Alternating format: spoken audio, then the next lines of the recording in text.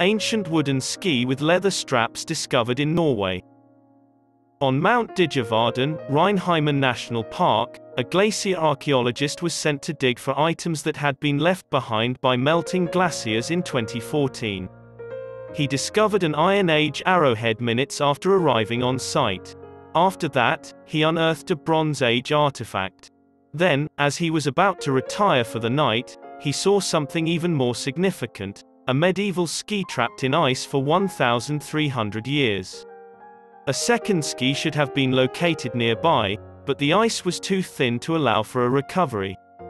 It would be another seven years before a repeat expedition was made to monitor the ice patch's development.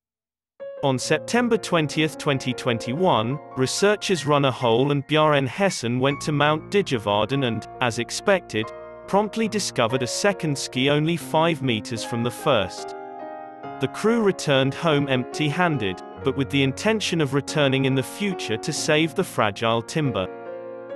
This time around the second excursion was postponed until September 26, when the researchers, equipped with ice axes and gas cookers, as well as extra help, made a three-hour trek over the rocky environment where 30 centimeters of snow had accumulated.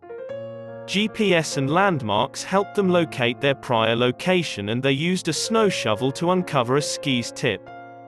Dag Inge Bakke, a member of the crew, used an ice axe to chip away at the medieval ski's iron hold on the ice, revealing its full length.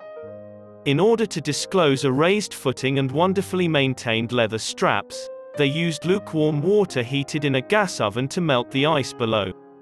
For 1,300 years, a pair of skis were lost, and the bindings of the one discovered in 2014 matched those of the one found in 2014.